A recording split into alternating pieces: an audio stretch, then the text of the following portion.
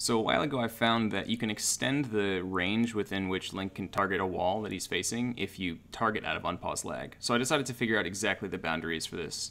So as you can see normally uh, you can target a wall anywhere less than 8,192 angle units from that wall or exactly 45 degrees. But if you're less than 9,104 angle units or exactly 50 degrees you can target it out of unpause lag also.